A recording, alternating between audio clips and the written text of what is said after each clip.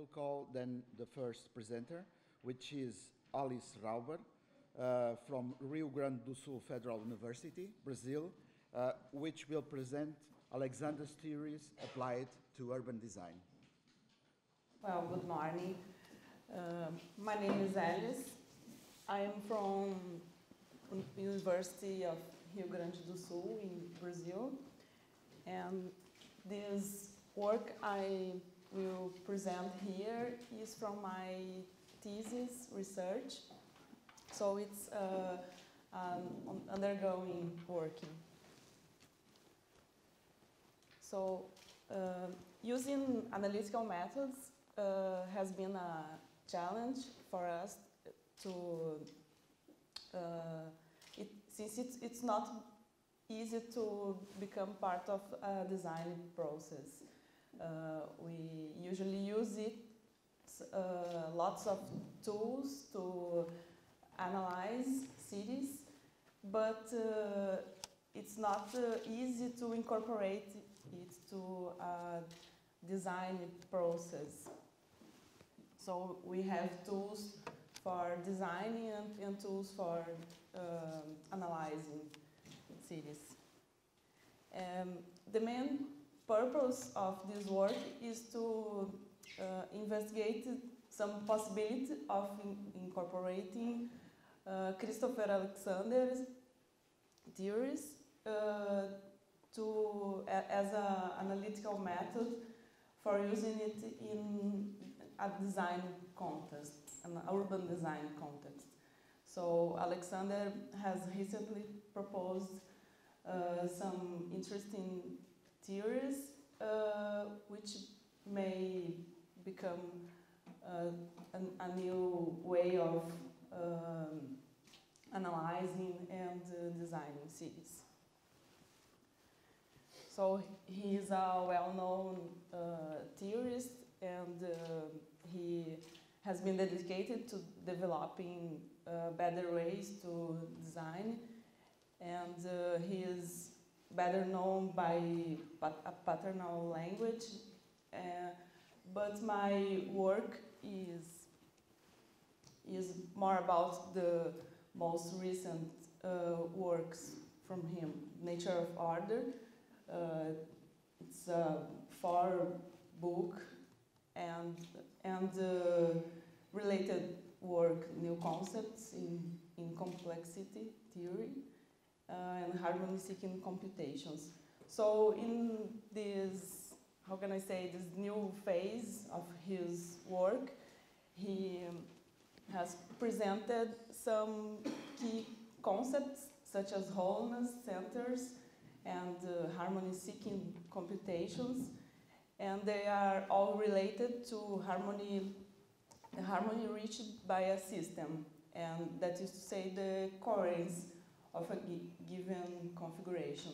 So I will uh, talk a little bit about these con concepts and then how can we uh, use them to uh, a, a new tool of urban design.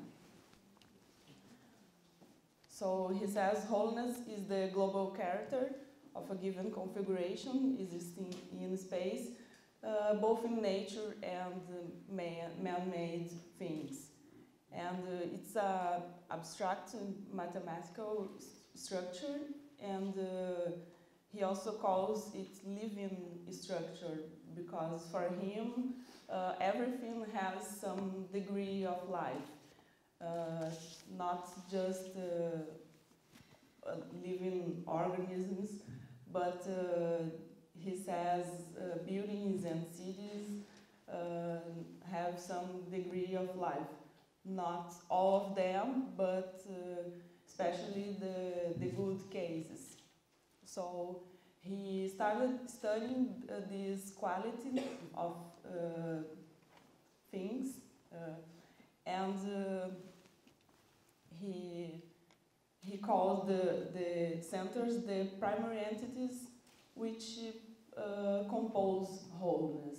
So they are like the parts of the, the things. And uh, they have different levels of strength or coherence depending on how they uh, relate to each other. And uh, this relationship among centers are, um, he describes it uh, as 15 kinds of relationships and they help to increase and intensify centers. Uh, it's a very abstract uh, thinking. And uh, I'm not talking about everyone, but they are uh, geometric properties and uh, they uh, help to intensify centers. Like when you have levels of scale, things which are composed by um, parts of different size. So in this case, you have levels of scale. And uh, so they, he has these uh, 15 geometric properties, uh, which for him, it explains uh, the quality of uh, all we see in nature and in um, human artifacts. So, and harmony seeking process is a stepwise process and it, it's also a structure preserving because things are not, uh, um, um, how can I say, well, the transformations uh, which led to, to an object, uh, the harmony and beauty of, the, of an, uh, an artifact, they obey some rules which are the 15 geometric properties. So uh, he says when you combine some, you, you don't, don't need to have all of the properties, but when you combine some of the properties, you will have this quality of coherence and beauty and harmony. So he calls it a harmony-seeking process. In nature, uh, it's always like this, like in this uh, example, in the image. And uh, in man-made things, uh, not always. So, but, but uh, we have examples like the uh, growing process of a city. Uh, it's not, uh, it's a stepwise process. Um, so, uh, well, he says if you recognize the, the structure and uh, you learn the, those properties, you could use it to uh, have a better design or in this case I'm uh, he, he talks about design in a wide context, but I will try to uh, bring it to a urban design context. So, and he says it this uh, wholeness and uh, the 15 properties uh, are objective, objectively uh, observed and described, so uh, it's measurable, he, he says. But he admits we don't have a mathematical language to do it. We still don't have it. So, uh, but he is sure that if we could measure it uh, and operationalize such a process, we could have, uh, could make a better design. And uh, I will well, he, he's a very controversial author. Uh, I will not uh, discuss and uh, um, about his philosophical view or, stuff like this. But uh, I, my work is worried about uh, uh, how to, let's assume he's, he is right, how to do it this research agenda he's proposing, how to, um, the main question, how to operationalize the harmony-seeking process described by him, and how to make it mathematically manageable. and how to bring it to a urban planning and design context because uh, he, he talks in a very abstract way so it could be used for everything. Um, well, I what I try to do is to bring it to a urban configurational perspective. Uh, I studied net network uh, analysis, so uh, I think it's a possibility to, to use it uh, to operationalize Alexander's abstract concepts. So if you took a network approach, uh, we could use a hierarchical graph in which centers are described as nodes and their relationship as the links, as already suggest, suggested by another author, Bin Uh, it seems to be an appropriate way to describe mathematically the centers because he's, he always talks about relationship and uh, it's the mathematical language to, to study relationship uh, between things. So in urban systems or urban configurational studies um, have produced several ways uh, of measuring uh, graph-based measures and uh, methodologies to describe and measure, measure the network properties of cities like uh, centrality and accessibility measures. And therefore, the, there are many ways to define hierarchical relationship between the, the centers or here in this interpretation, the nodes of uh, a graph. So the methodological procedure would be testing different ways of describing urban spatial, spatial structure, uh, testing different ways of measuring hierarchical relationship, revealing the underlying structure, uh, choose some of the centrality measures we, we already have, uh, and testing different ways of visualizing the results. So maybe it's my hypothesis, uh, some ways of visualizing can, can be compared in, in some way to some of the geometric properties of uh, described by Alexander. So I will try to bring um, his ideas to a more concrete um, view. So here's some images of how to represent the urban spatial structure as a, as a graph. Uh, we have um, intersections as nodes. And well, it, it's uh, or, already used in many research about network analysis. But uh, axial lines like space syntax use it, uh, or street segments. So each of, it, each of them uh, gives a different um, view of the urban structure. And we have many centrality measures, measures like I, said. Um, previous work with which I, uh, I, I, talked before by Bin he uses uh, one centrality measure but uh, my point is that uh, we have many ways of measuring it, so uh, it would, would be interesting to uh, combine many of them or, I don't know, choose some of them.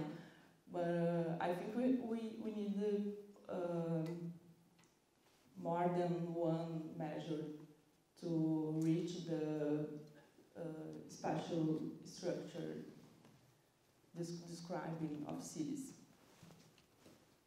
And um besides the visualization in, in the map, uh, it's important to, to see the statistical analysis. Uh, there are many works from, I'm architect, but they, there are many works from um, physics and mathematics uh, that are studying cities and studying the statistical uh, results of this kind of analysis and uh, getting some findings uh, about the urban structure, uh, just on how to how the just about the distribution of the results. So the next steps of this research would be uh, using not just the street analysis like uh, the ones I, um, I showed before, but to include some in the representation of the urban graph, uh, the buildings and the activities uh, to have a more complete de- description of cities.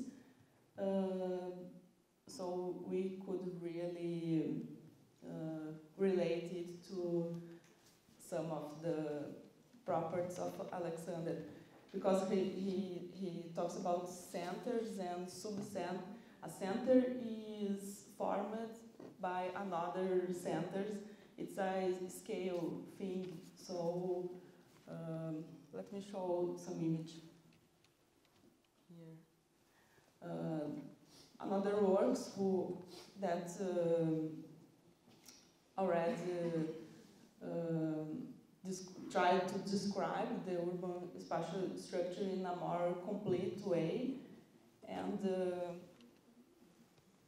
there's some some try of using uh, a graph which describe the the streets and also the the buildings.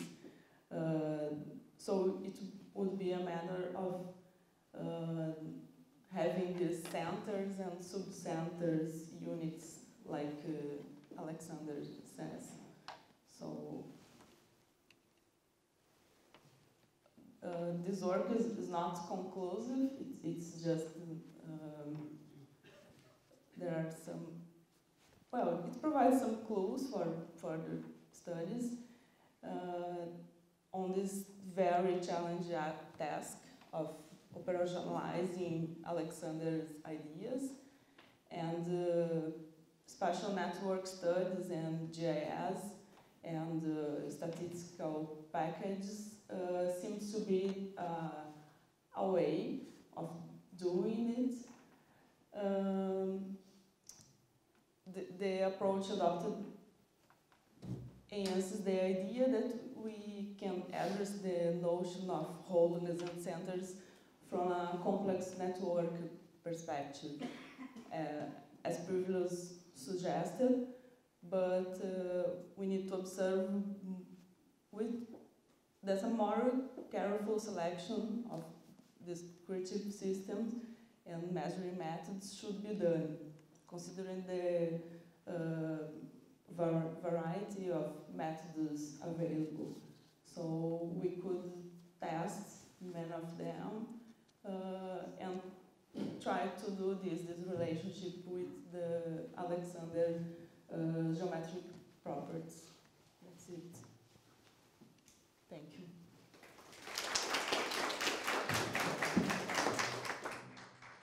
Uh, thank you very much, Alice. We'll have time uh, at the end of the four presentations for uh, discussion.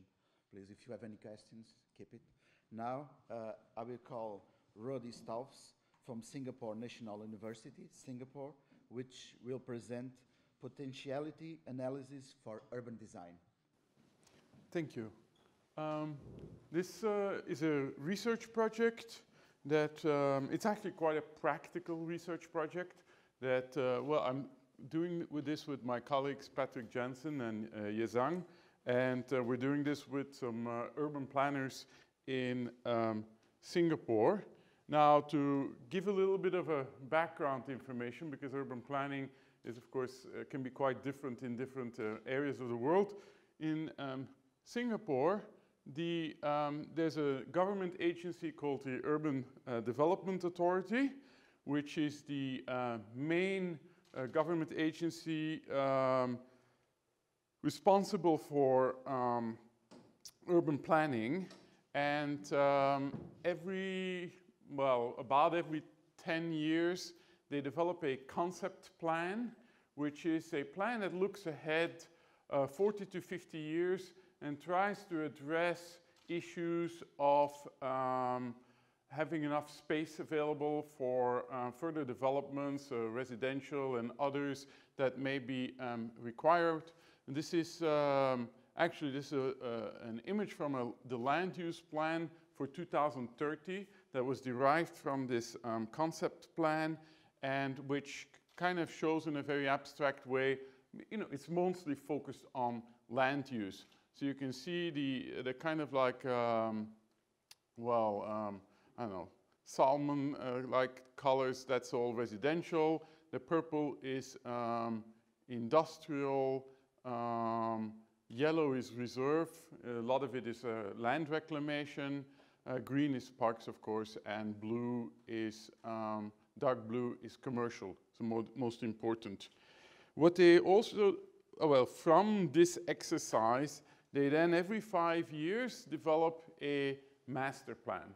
And the master plan is really the regulatory um, yeah, framework that specifies, as you can see in a lot more detail, land use and um, density as expressed in uh, plot ratios um, for the entire um, country slash uh, city. Now the work that, uh, I mean, we've been focusing on this um, like purple or Bordeaux area all the way in the um, southwest um, corner, which is called the Jurong Industrial Estate. And as you could have seen, it's mostly monofunctional um, industrial. it's under the responsibility of the JTC uh, Corporation um, which is another uh, government agency, which is the largest uh, developer of um, industrial uh, land in um, Singapore. And uh, this is their largest um, area under their um, responsibility. Um, but as you can imagine, in a country like Singapore, which is uh, rather small and therefore very limited in um, its ability to um, further expand um, its um, activities, its, um, its population, etc., that having such a large, I mean, this is about, um, for, for your information, about 4,000 um, having such a large area solely focused on industry is um, not very realistic in terms of the future. So what um, JTC's uh, urban planning department has been doing is um, working on a vision um, for um, the area for the year 2050, in which um, they consider that um, there could be, I mean, this is all, of course, uh, uh, trying to just uh, consider what might be possibilities for the future, uh, might have 1 million people living in this area um, in not replacing the industry, but in um, adjacency in, uh, with the industry, where the industry, of course, has progressed into a lot more um, clean tech uh, industry rather than um, some of the um, manufacturing and um, petrochemical industry that um, there is uh, now. So this is a very abstract, um, uh, yeah, scenario of their planning, which shows some ideas in terms of urban nodes that could then be um, further developed and um, and um, some greenery, etc. And so really the, the, the, the issue that they're having is trying to develop these scenarios or such a scenario at a, a lot more level of detail requires a lot of time. And so um, it's not a problem. Of course, there are urban planners. They can they can um, they can do this.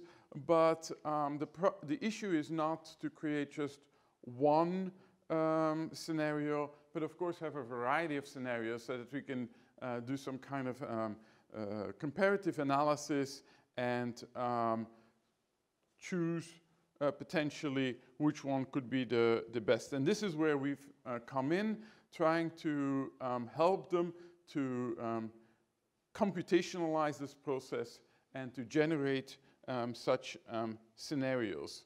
And the methodology that we're um, using is uh, basically a location choice uh, approach. So based on um, data that they have available and that we could um, um, make use of, we're doing a number of different analyses looking at land availability, transit access, uh, green spaces, industry, road noise, etc. And um, taking all these individual analyses and then um, integrating them, aggregating them into some form of urban uh, potential. This urban potential is not, of course, per se um, an identification of urban nodes and their um, growth areas. Um, we're not trying to replace um, the planners, we're just trying to um, help them so it's up to them to make the, um, the final um, choices. It just shows that if you, you know, take into account certain assumptions, then um, you can get a very detailed assessment of urban potential for the area.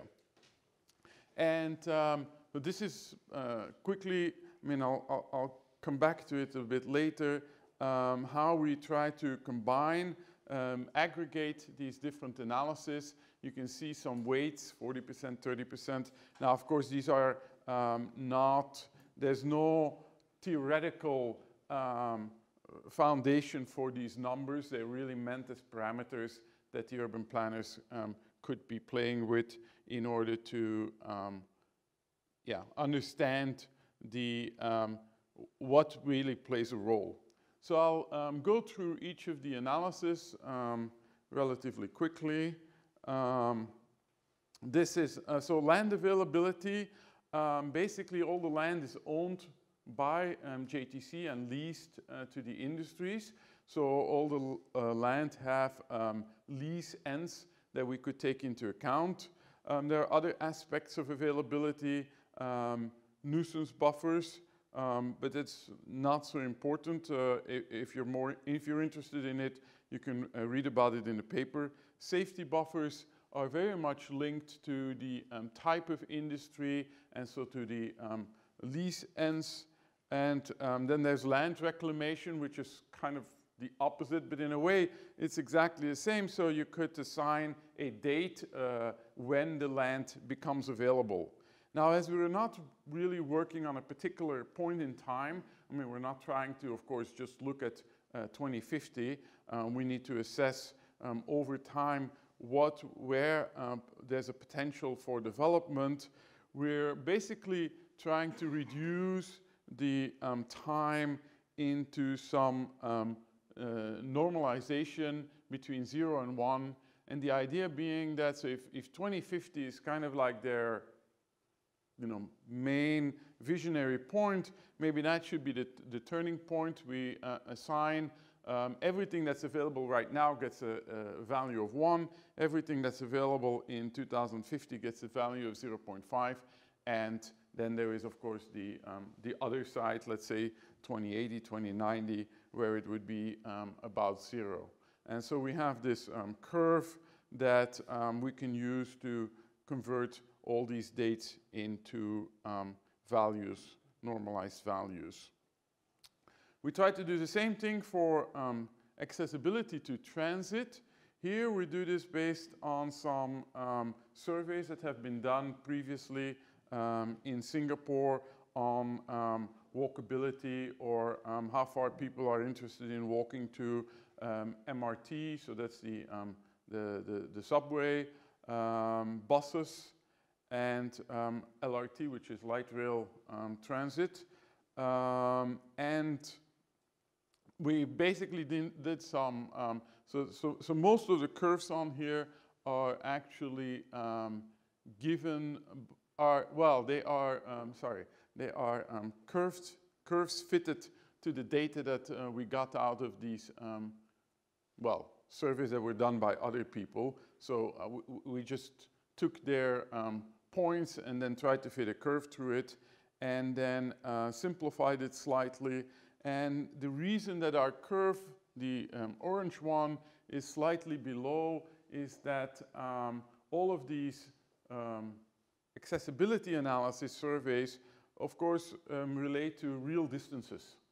Whereas we have this uh, very um, area, well, this area where, of course, you could measure real distances, but by the time 2050 comes around, they may have changed um, roads, they may have changed uh, um, plots, etc. So it's kind of hard to um, really measure in distances, and so we're or um, real distances. So we measure it in um, straight line um, distances, and so we take a 80% um, value, and that's why our curve is slightly lower. But so we basically we taking a inflection point at 150 meters saying that, um, well, if it's closer than 150 meters, there's a high probability above half that people would walk there. And if it's um, above 150 meters, then it would be um, lower.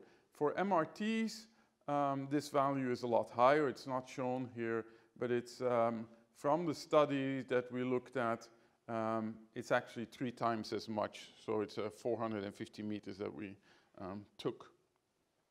Uh, in terms of green spaces, of course, at this moment there are very few um, green spaces in the area. Um, but um, in the design process, of course, new um, green spaces will be decided upon, and this, then this can also be taken into account. There, uh, most studies don't only look at accessibility, for which we um, are taking the exact same uh, curve as for um, transit, uh, for buses, um, but also take into account um, area. So how much um, green space, how many um, square uh, meters of green space is there available within a neighborhood. And for us, the neighborhood is, so it's a, since it's a straight line distance, we're taking it as a 640 meter um, radius. And um, we're not considering that if this whole area is full, that then it would be um, one because there are no such, I mean, there are very few, uh, if any, parks in Singapore that are that um, large. So um, basically the idea is that about um, the largest parks are usually around half a square kilometer and so uh, a quarter of a square kilometer is the inflection point for the um, normalization.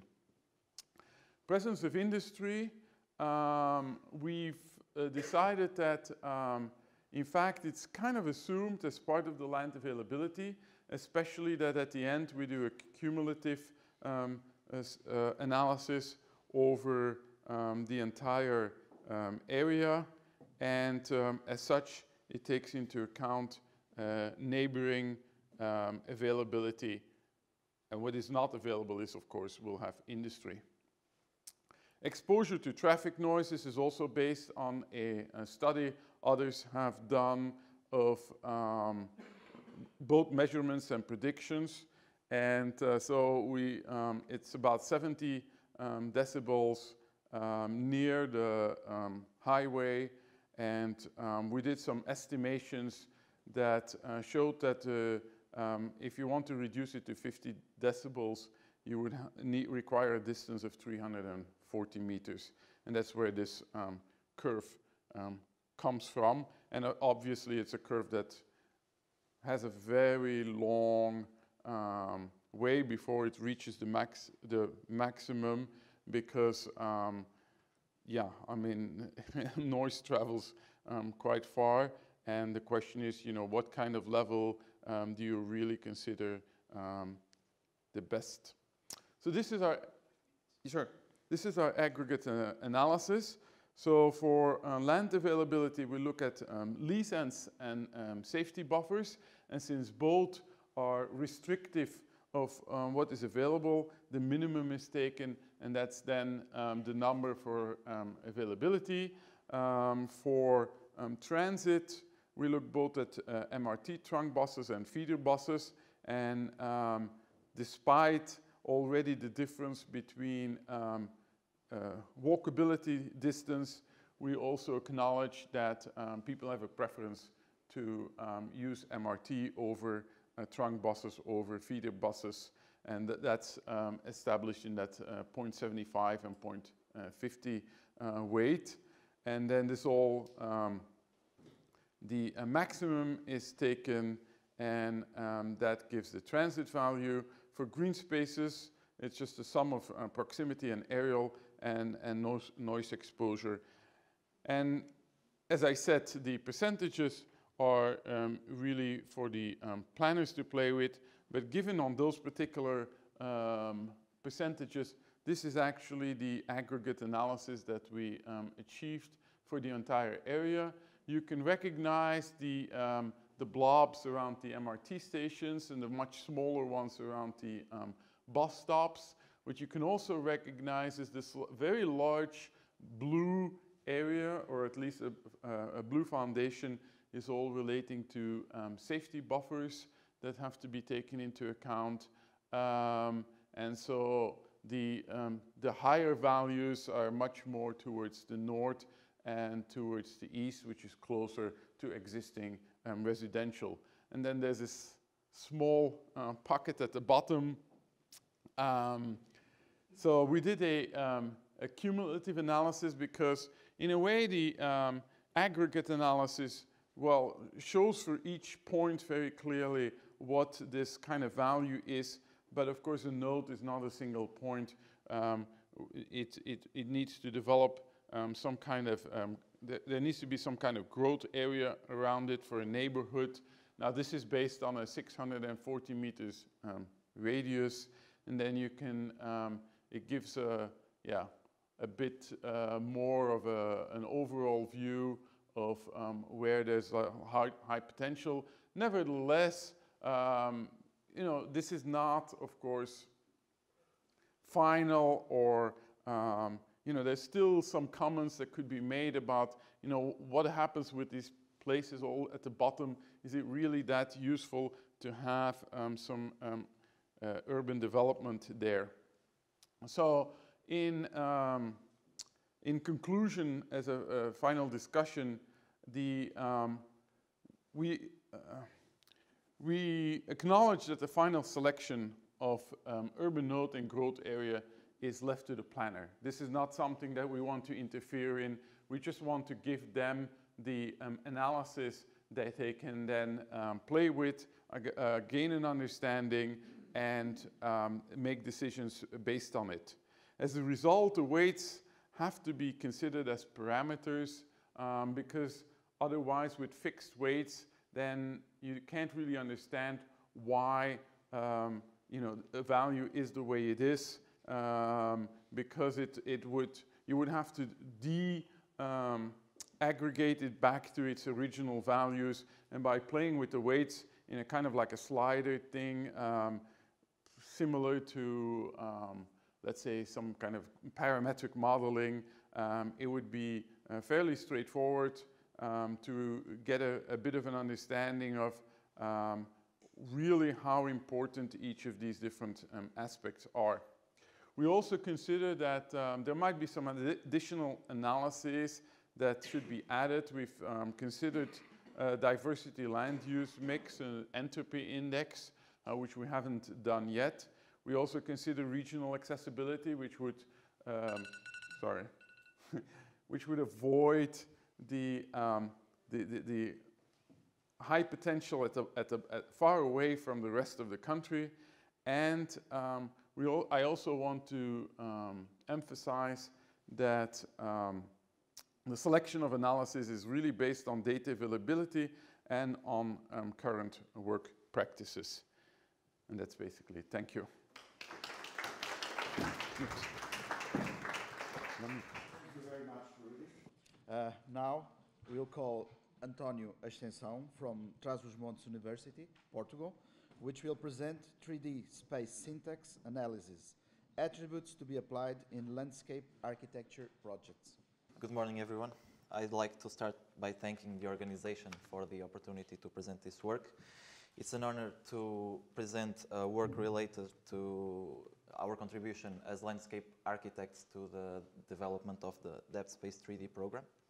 I'll be showing you the work I developed during my master thesis and that is still being developed.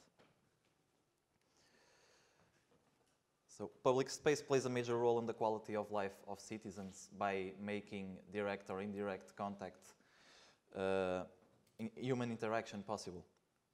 It's important for us to understand how the spatial design will affect uh, the relations between people and the spaces they use.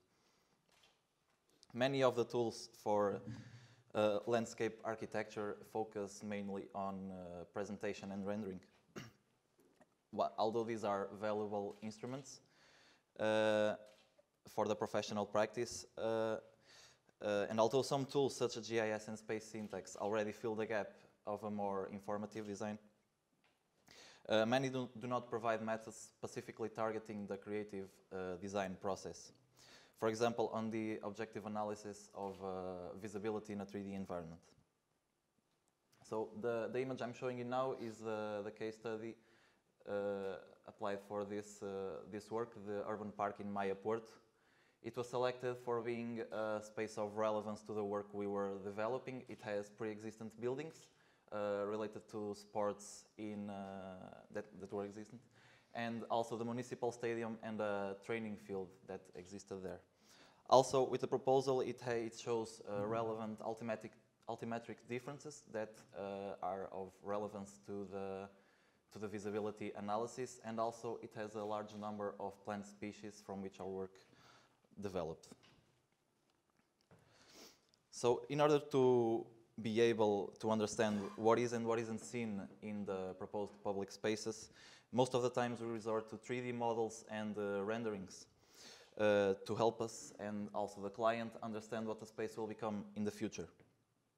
And while it is our intention to show the reality, these images often are, uh, are um, these images often show the best that the space has to offer, uh, giving room to subjectiveness.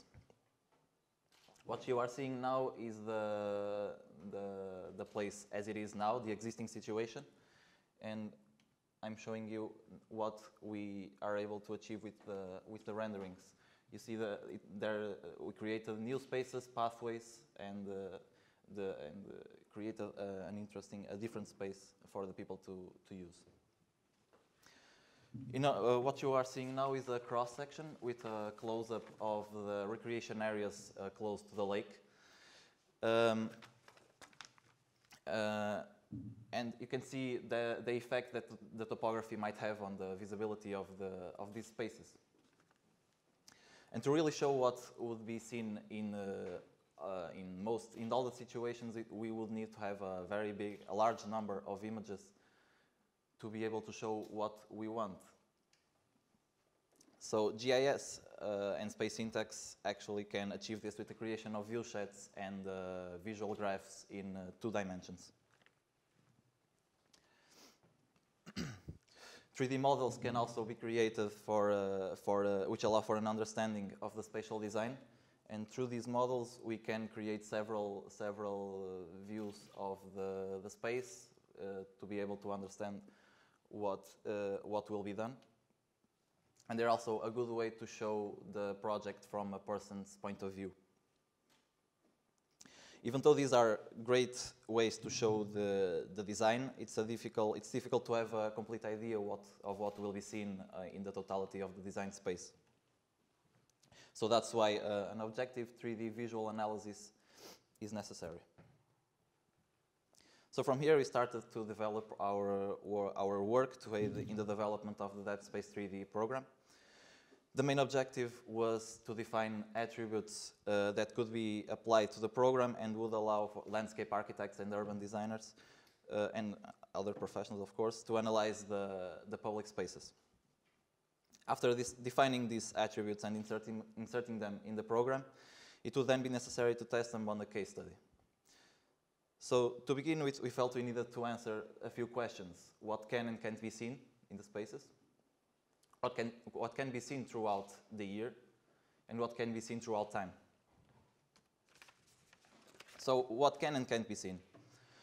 To simplify, in public spaces we have uh, the, the main volumes that are present in the landscape are the terrain itself with its topography. It can create uh, spaces, create viewpoints for the best panoramas, and also create obstacles to visibility. The buildings, and of course the natural elements. Then we had to define uh, what these natural elements were. What are they and what marks their, presence their presence in the landscape? For the development of our work, we consider the trees and the large shrubs as we feel they are the, the ones that have, uh, that have a bigger impact on visibility. And so we had to look at them as uh, living beings. They, uh, they, we had to look at them from a spatial and temporal standpoint. So trees in their natural environment have specific form and dimensions, designated mainly by their genetic code and, of course, the, the situation they're in. They change throughout the year. Deciduous plants lose their foliage around winter, and evergreens keep their, keep their foliage uh, throughout the year. And throughout time, uh, they grow at different rates. So looking at the, at the various plant species, we, have, we can see immediate differences in their forms and dimensions. For example, the columnar form of the Italian cypress, the wide form of the umbrella pine, and the pyramidal form of, the, of a cedar. So we gather this information for um, for all of the species proposed in the case study. Uh, the, the, table I'm showing you uh, represents the form and dimensions, the dimensions being considered in height and width, the ultimate, their ultimate height and width, considered for their uh, for optimal condi conditions. And we simplified form to five different shapes to insert in the Depth 3D software. These are the, the, the, volumes we consider. They had to be very simple in the beginning because of the calculation, uh, the calculation process. And so from left to right, we have a pyramidal form, conical form, rounded form, columnar form, and a wide form. We also had to consider them, out, out, out, we also had to consider, sorry, how they develop through time. Plants have different growth rates. They grow at, uh, we consider their growth rates as slow, medium, and fast. And we also, in considering these growth rates, we consider their plant dimensions after 20 years, taking into account their ultimate height presented in the previous table. So these are the shapes for each one of the species in the, in the case study, from the smaller to the bigger ones, the plants at the date of plantation, uh, the, plant, the expected growth at 20 years and their, their, ultimate, their ultimate growth. so finally, we had to also consider them, uh, the evolution of plants uh, throughout the whole year. Plants can be deciduous or evergreen, meaning they may or may not lose their foliage in wintertime, which means that the visual permeability of the crown in winter and summer will be different. different. The table uh, you're seeing now demonstrates the values of opacity for each one of the species of the case study. These are all average values calculated based on six photographs of the, for each one of the species.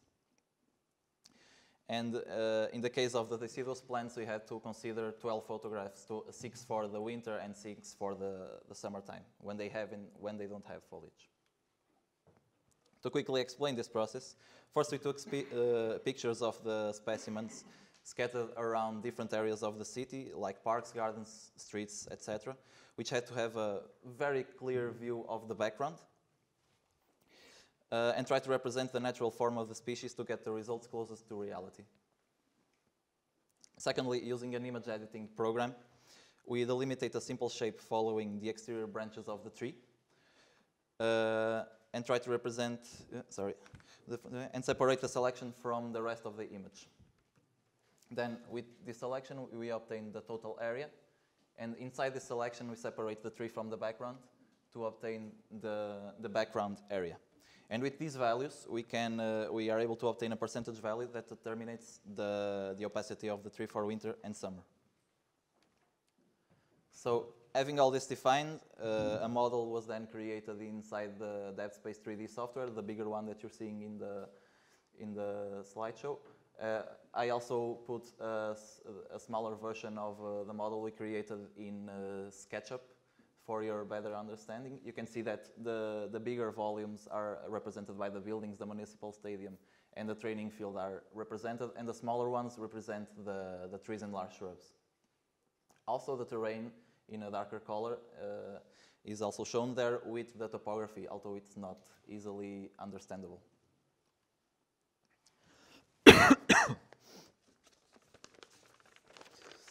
so from this point, it was then possible to, uh, to analyze the, the space and answer the previous questions that I showed you. This slide shows how 3D renderings were used for both the study and the presentation of the visual qualities of design and were complemented with an isovist of the area. Um, in dark blue, uh, in the isovist, in the representation of the isovist, you can see in dark blue the, the color. This color represents the complete lack of visibility. The red, com uh, complete visibility, and the lighter colors in between uh, are the decrease in visibility due to the permeability of the, the vegetation. And you can see uh, in the 3D rendering, you can uh, see that what is seen is actually what is shown in the um, in the in the isovist below. So uh, it was also possible to analyze the effects of time in the in the park's uh, visual connectivity by taking into account the vegetation growth and the deciduous plants. This is important information to understand how the aging of the, the park will affect what people see and when they see it, and how people will make use of the space throughout it, its existence. However, while you can clearly see differences in the, um, uh, as, as vegetation grows, uh, the density of the park causes visibility to the, the, visibility values to be similar for winter and summer months. You can see the summer months represented in the top in the top three images and the winter months represented in the bottom, the bottom three.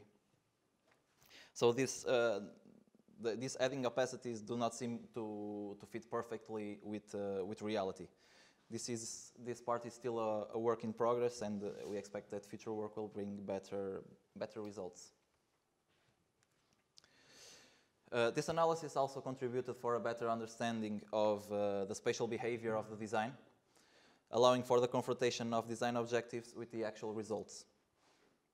This was useful in the construction of a desired relationship between the interior and the exterior of the park, where the interior should be felt removed from its uh, urban surroundings. And subtle alterations could be made until the design expectations were validated through visibility analysis, resulting in the final design, showing uh, low levels of visibility from both the exterior pathways and the interior of the park and vice versa. It's also, to, it's also possible to see that the place where the, the, the main entrance was, uh, was placed behaved as a logical entry because this is the place that allows for the highest levels of uh, visual permeability between the, the park and its immediate surroundings. It was also uh, uh, possible to apply visibility analysis to a smaller scale to study the characteristics of the particular spaces. Analyses were made from three main viewpoints of the park, which are represented in the top three images. these, uh, these viewpoints were designed as the, uh, the, the highest points present in the space, which would allow for uh, uh, great, uh, for the best vis- visibility over uh, great areas of the space. Uh, with these images, we were able to identify a few problems. Uh, for example, in the second image from the top, uh, the isovist from uh, gazebo, it, uh, it shows high levels of visibility to the exterior of the park. Also, in, uh, in, uh, in the third image on the top, it was possible to see that uh, the isovist that is located in the second floor of, the, of a proposed building, the cafe bar, uh, which should have full visibility to the training field as a, a lighter, a lighter area, uh, which was not uh, uh, in project was not uh, um, considered because there's a, a plant, a tree planted there that cuts the visibility. On the other hand, it's also, it also shows that the isovist from the walkway, the first one from the top, uh, creates great visibility over the lake area, which, which was the original intention. Additionally, it was possible to identify in, fig- in the figures at the bottom that the intention of creating uh, visual variation uh, with movement so that the park cannot be grasped from a single point but only through explorative meandering was successful, uh, as these spaces appear defined with clear variations in visual connectivity levels, appealing through movement throughout the park.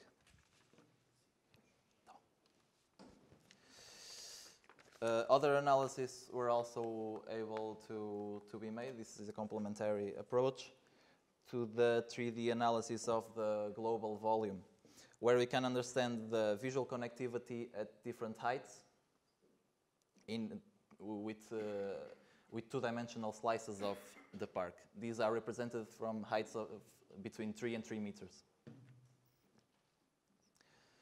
So this is what we have done up, up, until now. Uh, in conclusion, the experimental application of attributes and parameters in the Depth Space 3D software allowed us to understand the, the interest that this program might have uh, had during the development of the, the project. And while it is still a work in progress, the results in the experimental application of the attributes and parameters relating to ground modeling and vegetation seem to be of, uh, of great interest. While the selection and the application of attributes for terrain, form, and dim dimensions and growth uh, were considered successful, we still have some work to do in, in what concerns the permeability of the, of the vegetation, as we felt these results did not represent the, the reality. The analysis was a continuous process that took place through various stages of the, the design process, and consequently, the program also uh, evolved um, uh, to, to accommodate specific necessities that had not been foreseen before. The connection between analysis and design proved useful in obtaining an efficient design and improvement of the software for use in uh, landscape architecture. So we expect that uh, future versions with the work we are uh, still developing will further improve in this area, expanding its use. Thank you.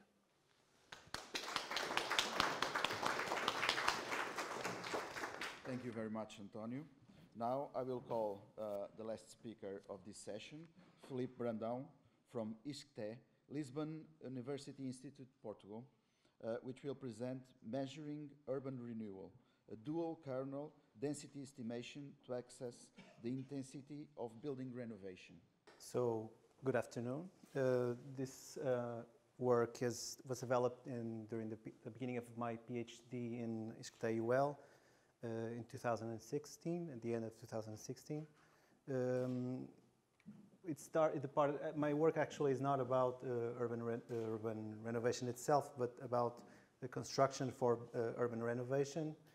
But uh, as, as I was starting to develop this work, a question came up as we, I was visiting buildings around the city and uh, building renovation was starting to become a very important issue and uh, around Lisbon and Porto. And uh, buildings, a lot of buildings that had been um, uh, completely damaged throughout the years and neglected started um,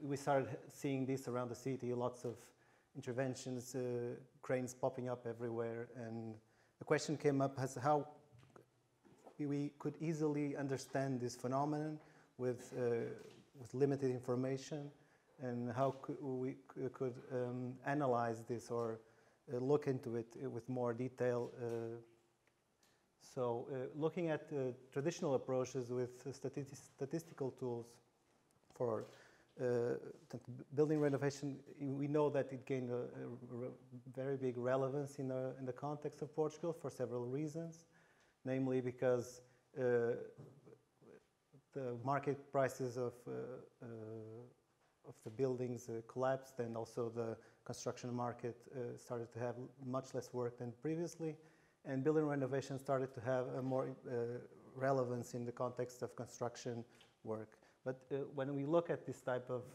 information, we don't really understand what's happening at the level of the city because it doesn't provide us a lot of information of the, the place where it's happening and at, at what rate this is happening. So our, previous, our first approach so we, we know that we have a large amount of dispersed small interventions in urban renovation, and this, uh, these uh, interventions are promoted by a diverse group of uh, private and public stakeholders, but mostly private uh, stakeholders.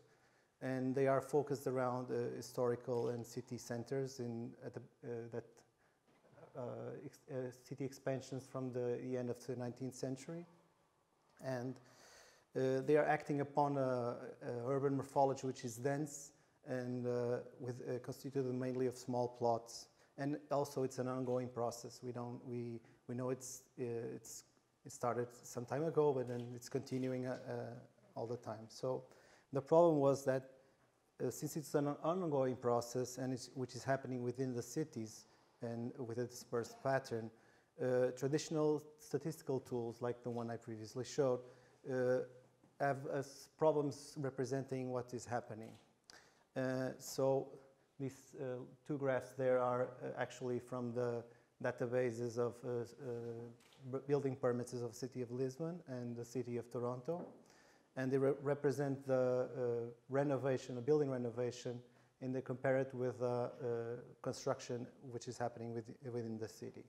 From, so we started out our first approach with obtaining information from the databases of the city of Lisbon, which we requested, and also open data from the city of Toronto. So the, the first approach was trying to um, understand, so getting this information uh, of database with alphanumeric information, and also the vector-based information with shape, gram, shape, uh, shape uh, files.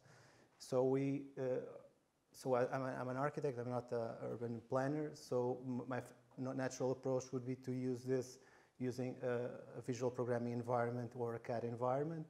So we uh, try to develop two approaches to understand how we could, uh, me as an architect and uh, also as a, a colleague as an urban planner, could use this uh, information to try to understand the phenomenon. Um, so uh, this uh, database contained uh, information ab- about the, um, the entry and the uh, approval of building renovation process and, and building permits in general. And we can, from this database, we can understand that, so visualizing this information year by year, we can understand that uh, there has been a very inc- uh, big increase in, in terms of uh, interventions within the center of the city, concentrated on the central part of Lisbon. Uh, so the first approach, we, we tried to visualize this, the, the duration of the uh, building permits in uh, using the, the polygons of the buildings and extruding this uh, time-based information to create a visualization of this uh, process. Uh, this is focused on the center of Lisbon, uh, and we, we can see there that there's uh, the uh, red, red and orange colors are mainly from renovation types, and there's a blue one which is from building construction. S- uh, this allows us to understand more or less where it's happening, but we, we cannot understand. So, first, this is Toronto, this is the same approach, but using in this uh, uh, two-dimensional uh, visualization where we can see the, the green are the, the processes that are very fast and the red ones are the ones that last very long. Uh, also with, with GIS uh, using a, a, vid- uh, a video approach when we try to visualize this process happening at, at along the time. So this is a, a, a frame of the video itself. And at the city scale, but as we get to this scale, we start to see uh, problems understanding uh, the process and trying to uh, uh, make sense of it uh, at this scale because uh, occlusion problems happen when we try to look at it and from a 3D perspective and also in the plan of the city is not easy to understand what's happening or to try to to make sense of it. So uh, the advantages of using this type of uh, methodology was, would be to portray, portray the time and space dynamics of urban renewal on the territory where it happens, where they occur, and overcoming the lack of spatial information and local detail in traditional statistical representations. Uh, but uh, it could be used for architects for trying to, to understand when the renovation is happening. It would be useful in terms of uh, finding out which, which areas are more, where there's more concentration of re- renovation, where there, where there could be areas for uh, uh, further expansion. Um, but there's, there's many limitations. Uh, it's not readable at city scale.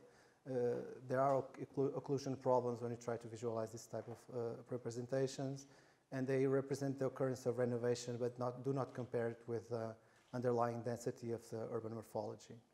Uh, also, building permit databases do not account for uh, all the renovation work.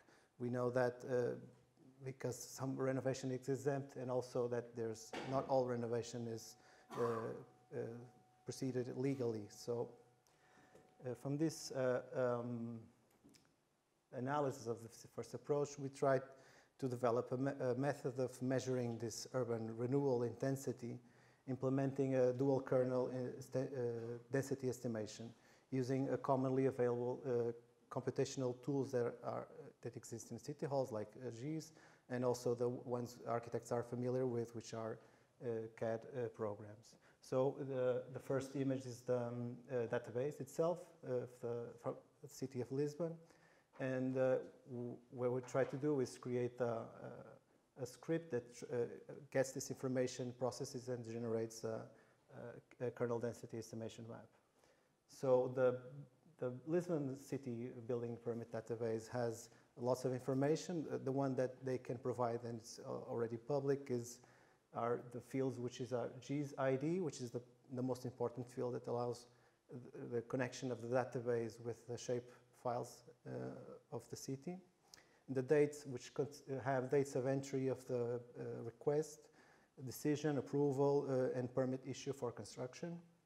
The type of permit, which is important information that allows us to understand which is which building permits are for renovation or for construction, demolition, what other types of activities, and the type of administ- administrative procedure, which um, the terms are in Portuguese, but they relate to the type of uh, uh, procedure that makes sense. So, for we will be concentrating on licenciamento e comunicação prévia, which are the, build, the activities that uh, relate that uh, will be uh, that will generate construction actually. And uh, of, uh, one of the fields also is uh, reject or accept, so a decision can, can be, a permit can be requested but not approved by the city hall, which of course doesn't mean that the building is going to be constructed or there's going to be activity at the, in the city. Uh, so the database contains all permit requests that were made to the city hall, uh, which may or may not materialize into actual construction work. To have a more accurate estimate of uh, actual renovation work, only the entries that meet the following criteria uh, were selected. So this is the uh, selection procedure. So we we only select uh, uh, entries that uh, are comunicação prévia or licenciamento, which have related types of permit types that are related with building renovation, which have not been rejected by the city hall, and which have a date of entry and a date of uh, permit issue. So they will be actually uh, not accurately, uh, not totally sure, but they will probably be constructed. Uh, there are also, of course, important limitations which relate to the type of the information that we have on the database and, um, uh, and what is uh, there. So this is, uh, is exactly what I said before, but the, the database doesn't contain all the renovation that happens in the city. Some renovation is not reported, and uh, some ren- renovation doesn't not necessarily need to do so. So it's all, all an incomplete image of or, or an incomplete sample of the actual renovation work that's happening. So for, for that reason, the, the KDE is, makes sense. So this is the workflow for uh, a Grasshopper environment. So we import the building permit data and filter the relevant fields to try to uh, uh, organize the information. And uh, there are uh, 13,864 building permits in, in the period of 2010-2016. Uh, 7 7,662 are uh, unique GIS. This happens, is, it's a, another problem of the database, which is uh, many buildings, uh, they don't have a, a horizontal property implemented in a database. So uh, when two uh, building permits enter for the same building, the building can have uh, two pro- horizontal properties with the same, within the same polygon. So they put two entries for this uh, same GID. So there are a lot of uh, repetitions of uh, with the same time entry, the same pr- uh, procedure, and the same date of exit to, to, the, to the database. So we need to remove all these duplicates. Uh, there are other types of duplicates, but they are much less number. And so the, um, okay, so the, then we remove the duplicates and uh, try to filter the, the, the entries that uh, interest us, and then of course on the bottom the same methodology, but in this case implemented in GIS. So we only keep the building relevant types and remove the permit, uh, rejected permit applications. So uh, kernel density estimation. So for the method we are using to try to, to produce uh, intensity estimation, uh, it's a method of a special uh, smooth probability density function, function based on discontinuous, uh, spatially distributed underlying data. So um, it overcomes incomplete data, so this is the problem we have. We don't have all the renovation that happens and it provides estimations on the continuous density of uh, the observed phenomena, so the rebuilding renovation. And it's adequate for the investigation of, a formal investigation of properties of data sets, uh, providing information about skewness and multimodality. And uh, has the capacity to provide readability at the city scale, which was a problem of the previous atte- attempt. Uh, so this is more or less how it works. It's a, it's a mathematical function which was developed in the 60s or the 50s and and the 50s and beginning of 60s. So it requires a number of the points of where the renovation actually happens. Uh, and uh, th- there's a parameter which is the width. Uh, the width is um, the width of the function, the kernel function, which is in the bottom. Is, and there's a summation of these functions based on the distance to the, to the points. Uh, there are several types of uh, kernel that can be implemented. The graph there is a multi, uh, univariate example of the kernel density estimation. And uh, the functions that are represented there are the Gaussian function, but we will be using a different one. This, this is the, the two-dimensional approach. Uh, the, the, the principle is the same. Uh, it produces a, a three-dimensional surface um, and uses the, the points where the renovation ha- is happening and a kernel function, which in our case is a Epa- Epanechnikov function. The difference between the previous one is this is a parabolic function that cuts the, the, the information uh, after a, given distance, which, is in this case the window. We are using a 400 meter window, which uh, comes from previous studies of uh, walkability, so it gives us a measure of the, a neighborhood. Uh, an analysis mesh, which is the, the actual surface, uh, the, uh, the dimension of the, of the edge of the surface, give, uh, you can see on the images, uh, determines how, how the quality of the generated surface, but doesn't influence very much the result we have.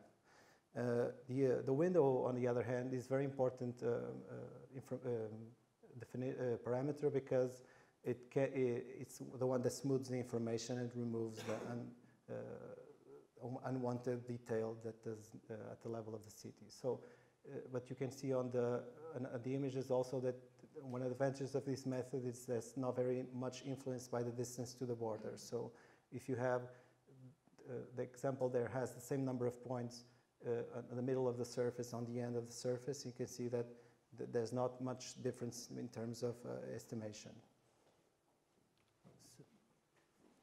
So this is a comparison with uh, uh, histogram methods. So a problem with histogram is that you, if you if you change the the origin of the of the um, of the analysis uh, the grid or you, you rotate the analysis the analysis grid, the, the estimate changes. So uh, this is the implementation of the of the script in uh, Grasshopper and the equivalent plugin for um, for kernel uh, for um, uh, GIS environment. And this is some of the uh, so how it uh, turns out. So you have the points in the city. You produce a, a graph, uh, a map with this information. Uh, at the bottom you have a script for generating the contours in uh, Grasshopper. So this is the uh, kernel estimation overlaid over the city uh, map. Uh, but the problem with the, so this is the GIS approach, this is similar, divided by year. So you can see how it uh, evolved throughout the years, the, the renovation. Uh, but the problem with using this uh, renovation uh, as, as a estimation is that uh, the city has a density. So you cannot assume that the fact that there's a higher density of in the center of the city means that there's a higher intensity of the renovation. So to achieve that, what we do is divide the actual density of the city, uh, the whole the whole buildings of the city, the centralized of all buildings, by the renovation uh, kernel that we have. That gives us the, a, different type of map, and this actually it relates much more with the, the reality. There are some surprising things that we were not foreseeing. We know that uh, the, uh, the area between Baixa and uh, Avenida Liberdade is the most intense area of renovation. We weren't expecting that uh, Par- uh, Parque das Nações was also an area with some intervention. So this is the same approach, but in GIS, also all along the years. And um, is a comparison between the two approaches and the maps that generate for the whole period of 2010-2016. So using uh, dual kernel density, density is possible to uh, produce a measure of intensity of renovation that correlates events with existing fabric of the city and can be, visualized on a map. Uh, it strikes a balance between uh, anal- an analytical and synthetic representations without the loss of underlying information of the city. The same methodology can be used uh, to analyze different types of events at the city scale. And it's easy to implement in parametric programming uh, environments which are more familiar to architects. So uh, uh, the point, of course, of this work is to try to uh, you reuse this, uh, architects can reuse this information to in open data environments where you can access the databases of the cities like the city of Toronto I previously, previously showed. You can access this information and uh, use it to produce in your in the environment which we are familiar with, uh, produce visualizations that can tell us something about phenomena happening in the city and that are, are harder to understand uh, with other tools. Uh, so limitations of uh, this method are related with the fact that distances are being measured in a two-dimensional space. So even though uh, a relatively small window was used, it's inevitable that some overflow will occur when you have uh, neighbor, neighboring areas with high and low density, uh, uh, low, low density of renovation processes. Uh, it's not appropriate for that reason for block level definition.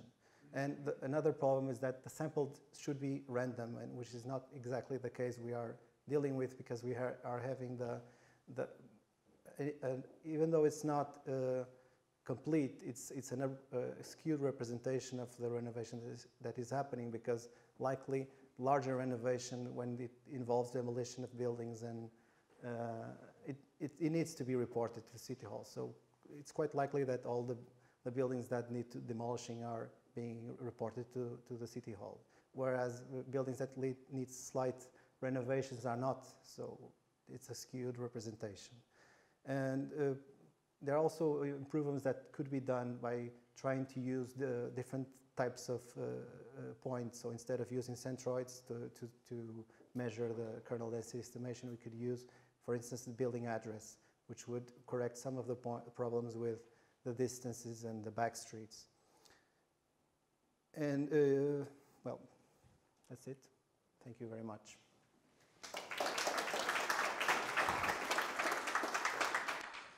Thank you very much, Filipe. Now I will call the four presenters and we'll have a discussion period.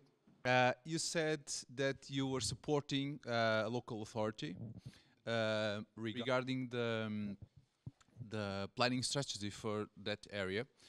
Um, and that uh, you were um, having this contribution regarding the data that you were working on and how they can uh, be um, um, a valid input to the to the local authority regarding the the, the plan that they have to, to that area.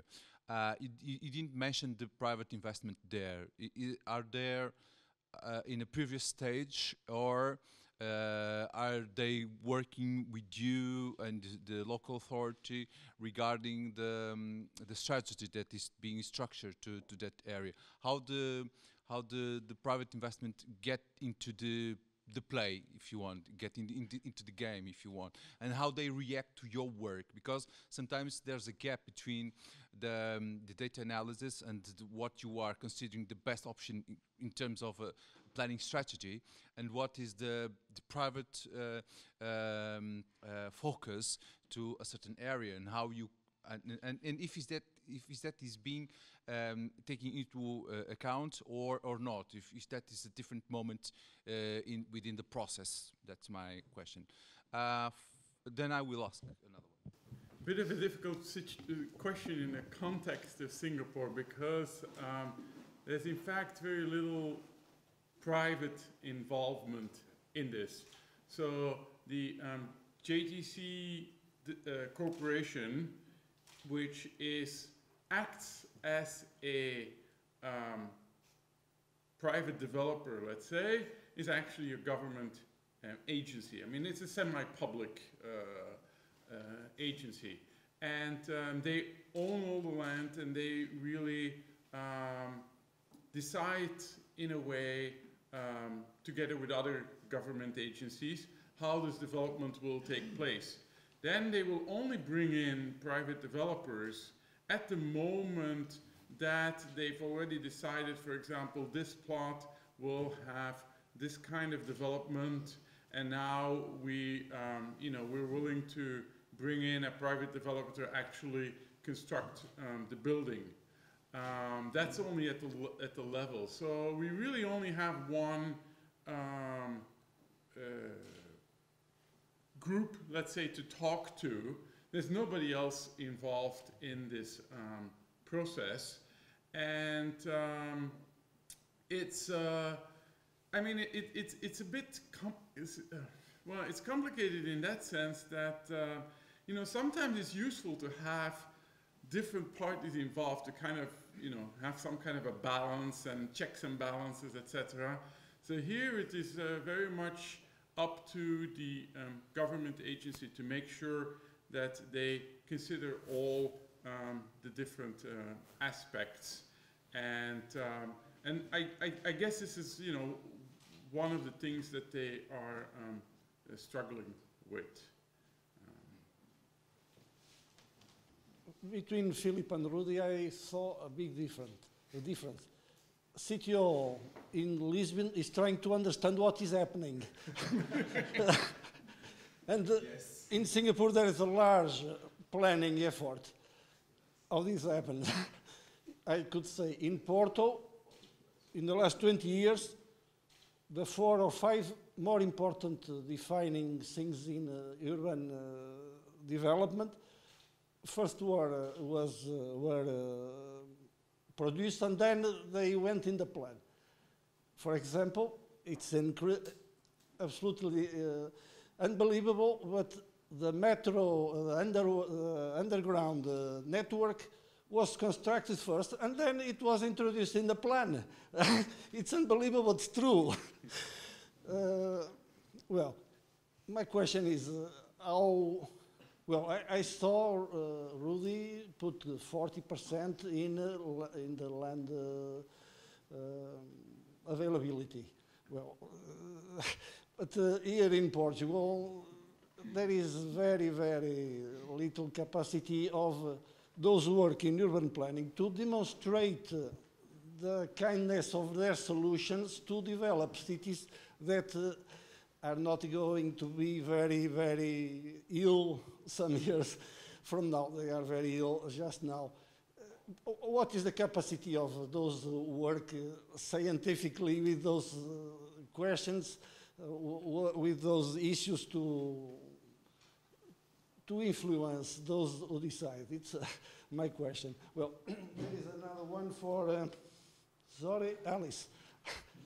Uh, well, your um, presentation reminded me of something in uh, aesthetic discussion is about form and uh, uh, not form, but shapes. Shapes defining beauty. That is a very old question that define what we say academism. Academism says that there are some definitions very well that determine definitions of shapes that define beauty. Well, of course, Alexander does, doesn't call beauty, but harmony seeking. It's not the same thing, but uh, it's a aesthetical question. Well, I have nothing against academism when they are created. I am against academism when they are used after they are created. because academism uh, represent, uh, well, in the first stage represent uh, arriving to some, uh, well, very important solutions to problems that exist uh, in some time. Uh, but that this question is, uh, well, they have centuries. Why are you trying to to walk in the same question that uh, I think it's solved some time ago? it's my, my, my question. Yeah, okay, I'll uh, quickly. Um, I, I mean, I think that there's a, you know, a lot of uh, benefit to be had on, you know, the kind of uh, methods that you're applying, uh, in, in, in the research. We've tried to do um, something um, similar in Singapore. Um, I mean, similar. Uh, we use some data mining techniques to try to understand uh, relationship between um, different aspects of building, let's say orientation, height, uh, etc., in relationship to um, um, energy consumption. So uh, looking at existing data and trying to understand what kind of relationships that there are and what kind of conclusions um, that could be drawn. But um, yes, uh, Singapore is a very special um, case. Well, I mean, maybe you know, there's there, there's similar cases in in in Asia um, where there's large uh, developments going on. Um, it is most of the land is um, government owned, and so they have a lot more um, control on uh, what what um, can be done or what um, will be done in the future.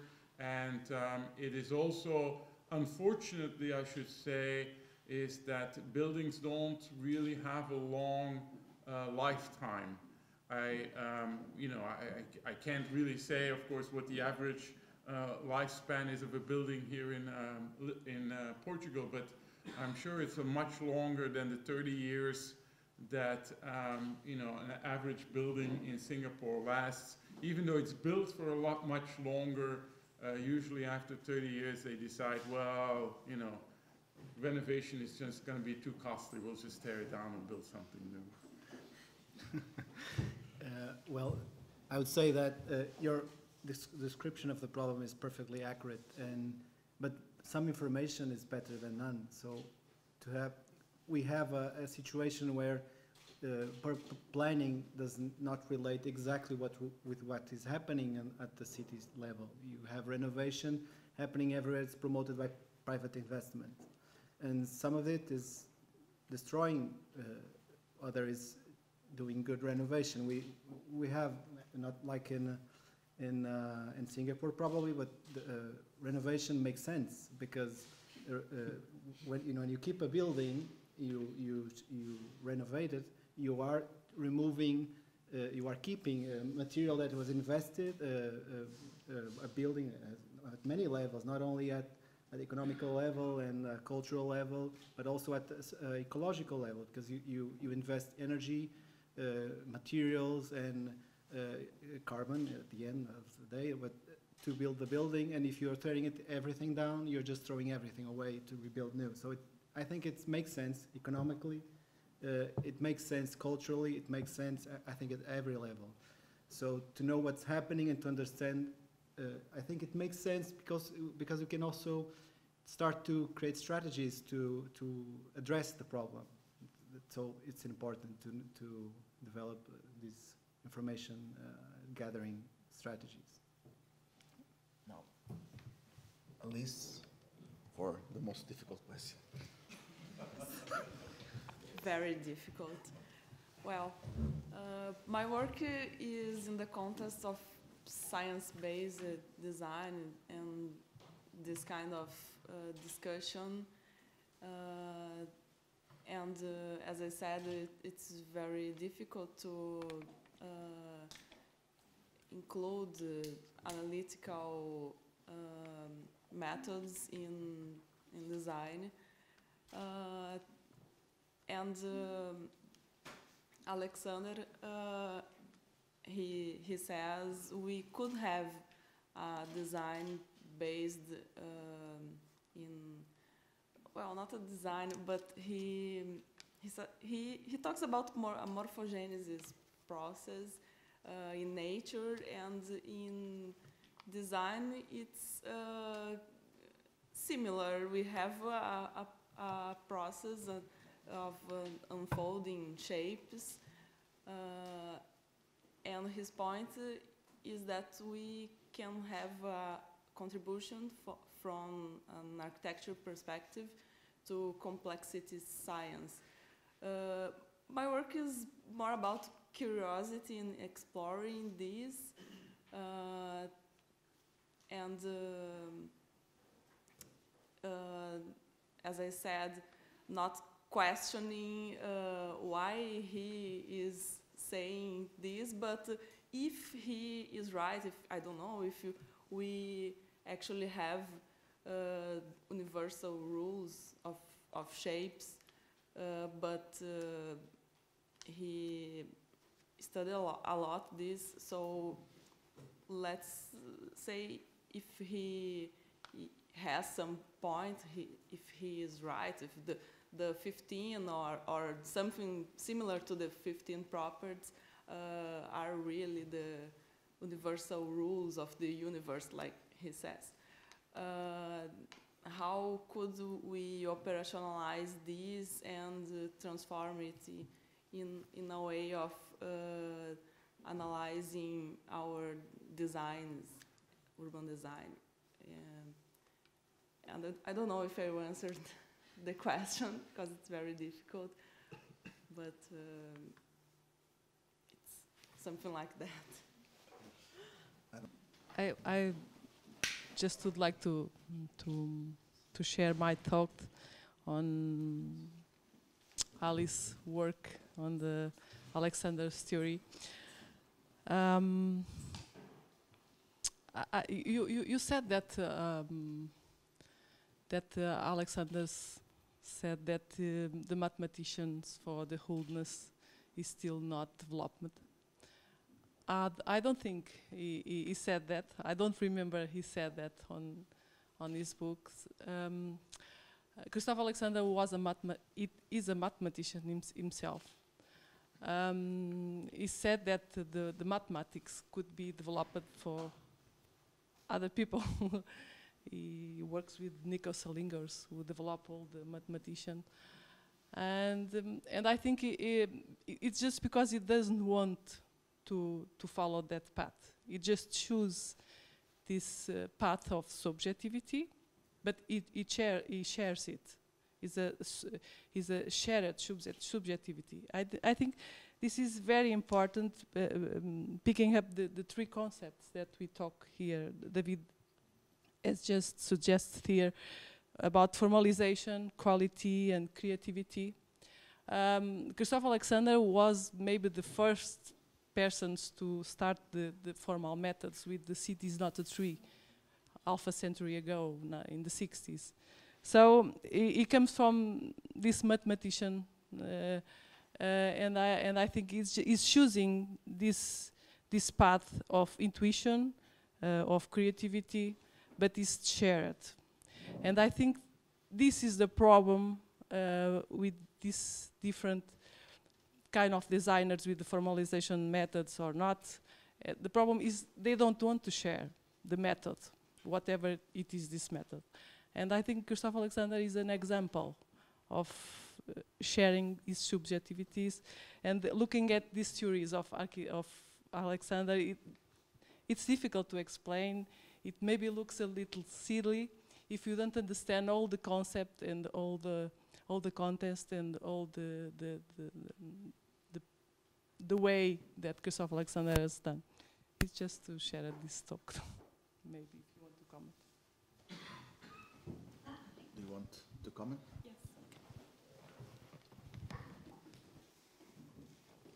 Well, there's a, uh, some related work to nature of order, which I uh, cited. Uh, I think it's harmony seeking computations. Uh, the other, I can remember the name, but he he talks about um, uh, he proposed some research agenda uh, towards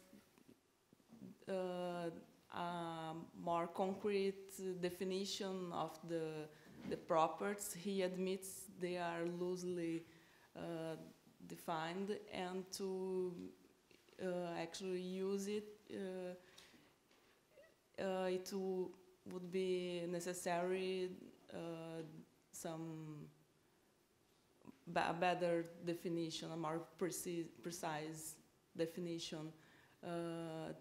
Uh, and for some reason he didn't want it or to, to do this and uh, he just su- suggested it. So uh, my work it, i- is a, um, one possible way of doing this. I'm sure uh, it must be many many ways because his theories are uh, very uh, subjective and wide, and they can embrace many interpretations. I think. I think this is a good topic for discussion at lunch.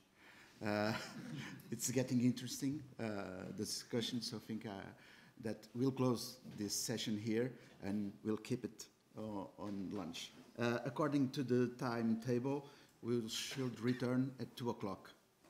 Thank you very much.